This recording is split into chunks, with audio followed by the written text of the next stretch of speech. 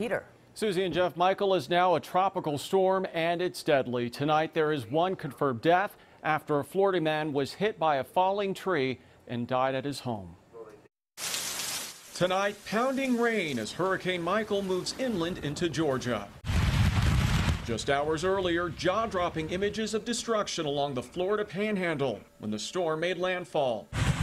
Some wind gusts reached 155 miles per hour. Hurricane Michael is the worst storm that the Florida Panhandle has ever seen. We're turning 100% of our focus on search and rescue and recovery. Along the coast, storm surge reached 10 feet in some areas. Oh my goodness. From exploding transformers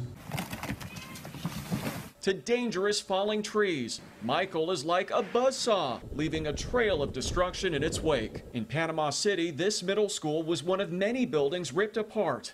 Both walls of the gymnasium were destroyed.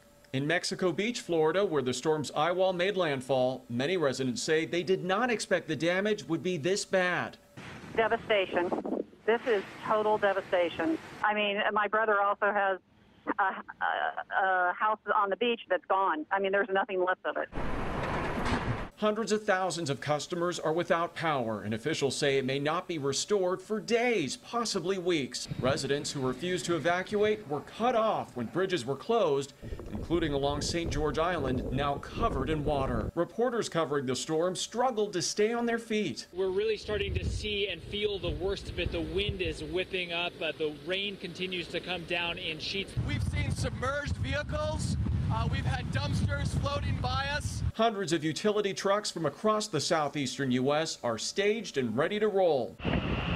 Meanwhile, millions of people across six states are under hurricane warnings and watches as the storm is expected to ravage everything in its path.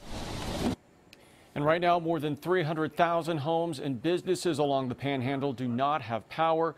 Again, Michael has been downgraded to a tropical storm as it moves through Georgia. Back to you.